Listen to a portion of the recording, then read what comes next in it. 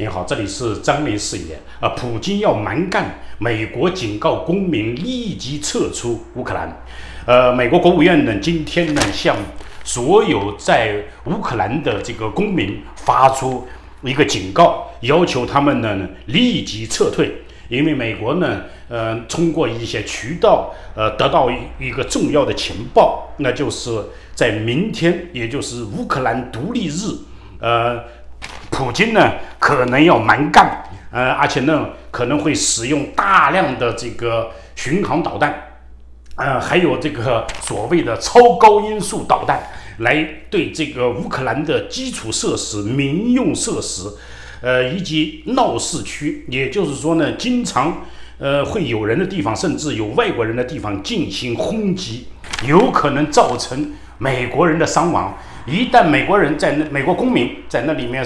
呃，遭到严重的伤亡，那么美国很可能就要直接的卷入战争。所以说呢，呃，这个美国国务院呢发出这项，呃，就是个严厉的警告。此外呢，呃，泽伦斯基呢也向普京提出了警告。呃，泽伦斯基说呢，呃，这个俄罗斯呢，呃，将用丑陋肮脏的手段来攻击这个乌克兰的平民，呃，这是不能够容忍的。呃，泽伦斯基说，我们会进行严厉的报复，呃，绝对不会让这个呃普京的阴谋阴谋得逞。呃，另外呢，这个乌克兰武装部队司令呃杜卢日尼呢，呃，昨天呢告诉这个公众说，乌克兰官兵呢，自从这个俄罗斯侵略以来，已经有九千人牺牲。嗯，这是一个相当大的数据。不过呢。这个数据呢，跟俄罗斯的牺牲相比呢，只相当于大概呃五分之一。因为俄罗斯呢，据这个乌克兰的统计呢，目前抛尸在这个乌克兰土地上的人已经高达四万六千人。呃，这也说明呢，呃，这个俄罗斯的战斗力，就是说呢，战斗效率呢，远远不如乌克兰军队。呃，虽然说呢，俄罗斯的人口呢，大约是。乌克兰的三倍左右，三倍多，但是呢，这样消耗下去肯定是不行的。更何况呢，呃，乌克兰人呢勇于去参军作战，而俄罗斯人呢则是拼命的逃避服兵役。呃，在俄罗斯呢，有钱人的孩子都会想出各种各样的办法逃避兵役，比如说到外国去留学，或者说呢到外国去做生意、去投资。呃，反正呢有的是办法。呃，普京也好，呃，绍伊古也好。就是俄罗斯的高层的将领，从来没有一个人会派他的儿子去当兵上前线，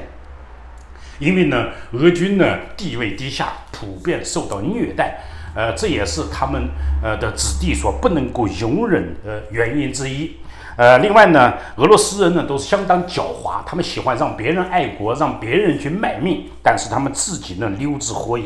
自己呢要想方设法享受别人的成果。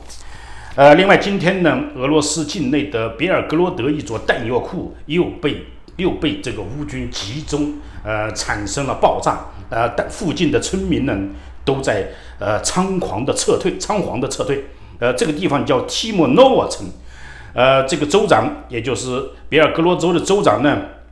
啊，解释说呢，说村民正在撤退，原因呢是爆炸，但是呢，这个爆炸呢，呃，是由于天气炎热，所以说呢，弹药爆炸了。呃，这个解释呢有点勉强，因为我们知道，自从开战以来，俄罗斯官方对于它境内的这个爆炸，总是说啊，这个弹药库呢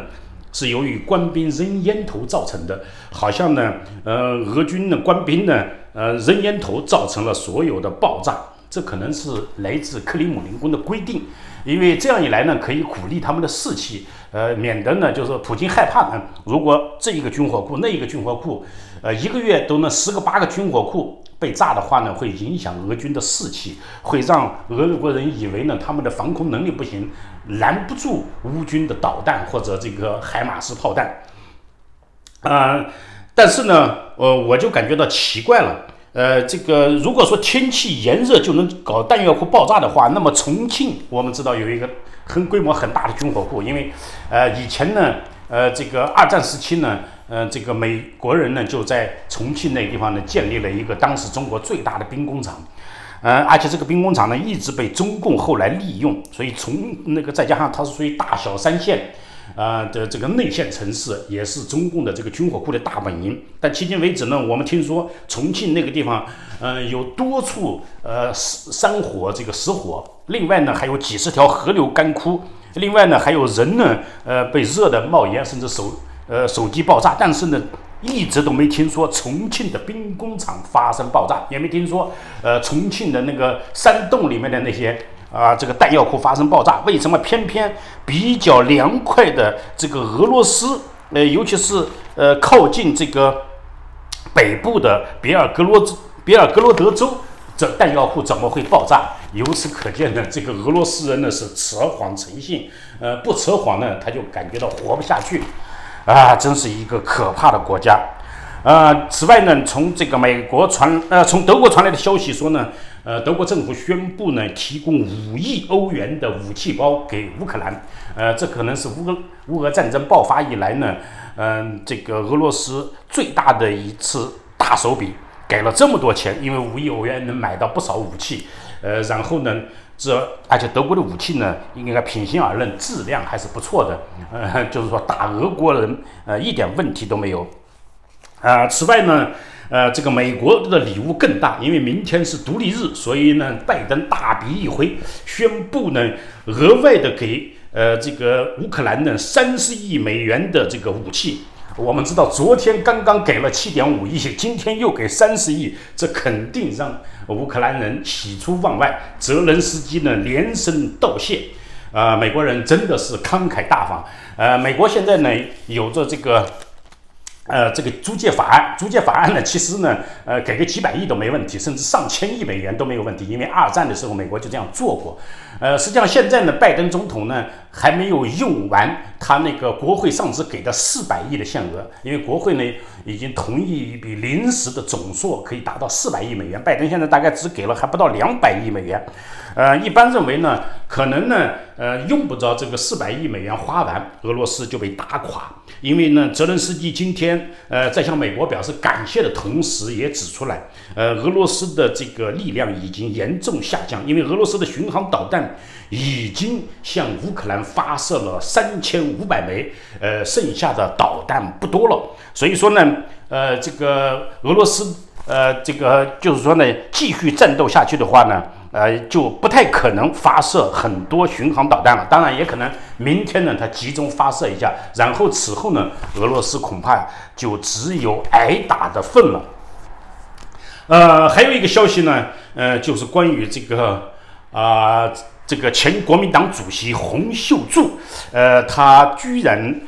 这个向习近平拍胸脯，呃，说他已经买通了台湾的大批政要。呃，届时候一旦中共发动侵略台湾的战争，呃，这大批政要就会策应这个战争，迅速的帮助中共拿下台湾。而且呢，据说呢，呃，习近平呢是对于这个洪秀柱的担保深信不疑，就像普京，呃，几个月前呢。对这个俄罗斯特工，呃，俄罗斯联邦那个情报局，呃，第五处的特工说，他们已经买通了，呃，乌克兰的所有政要，到时候只要部队开到基辅，乌克兰军政要员都会纷纷投降，呃，以同样的是深信不疑，呃，这个消息呢是台湾经济日报报道的，但是呢，呃，据说呢，这个几个小时以后呢。迫于内部的压力，《经济日报》就撤回了这条重要的消息。因为呢，据说呢，洪秀全要要求《经济日报》拿证据来。呃，《经济日报》呢听到的是内部的说法，就是国民党内部的说法。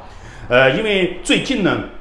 呃，国民党这个副主席呢正在大陆访问。实际上呢，呃，另一个理由呢，呃，他就说呢是看望台商，实际上是向台商去收收钱的。讲白了，这个钱很大呢程度上是中共给的，因为中共呢会告诉那些台商啊，给国民党钱，呃，你给了，我们就给你呃这个税收上的优惠。呃，实际上也就是说呢，呃，夏立言从这个中国大陆拿到的钱。呃，可能呢，呃，实际上是共产党给的，而且呢，呃，比较这个令人震惊的是，国民党的这个主席也支持夏立言的这次采访。很多人还以为呢，国民党这个主席朱立伦呢，呃，已经开始站在比较反共的历史上。事实上呢，呃，他是明里反暗里面，呃，这个跟中共勾结。因为夏立言访问中国，正是他。同意批准甚至推动，并且现在竭力的为之辩护。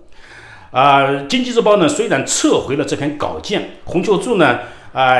大概也不会再打官司，但是呢在台湾呢已经掀起了波澜。呃，这个民进党呃这个立法委员王定宇要求彻查此案，要求查清楚洪秀柱到底是怎么样把台湾卖给中共的。